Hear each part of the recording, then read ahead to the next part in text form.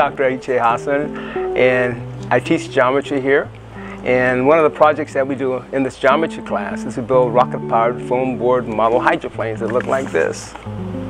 And um, as part of what we do, we look at lines, line segments, points, and all that good stuff, planes, and we do triangles and what have you, but the fun part is putting it together and then having a big race at the end of the year where we go ahead and we see exactly the aerodynamics and hydrodynamics that we put into this design, in this boat. And I want to thank Earl for this, for this wonderful boat that I'm using his boat to kind of showcase things.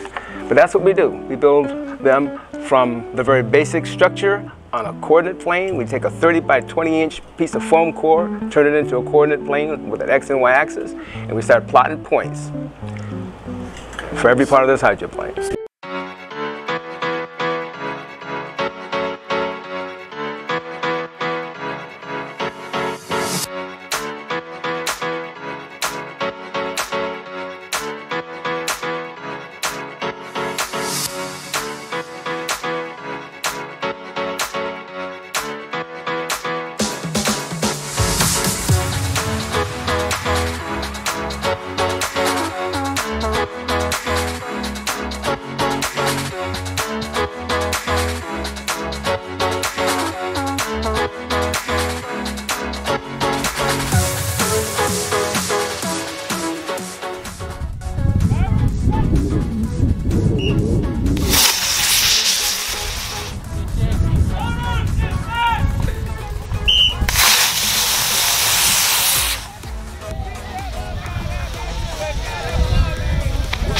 Uh, this book helps everyone assemble the hydroplane.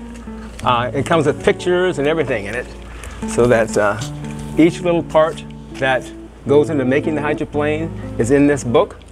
And any questions about where it goes, all you have to do is get the book and flip it to the different pages, shows you how to tape the, tape the parts on, how to be very active in doing it a way that you feel comfortable with, all the way to the very completion of it, and it ends up looking like this.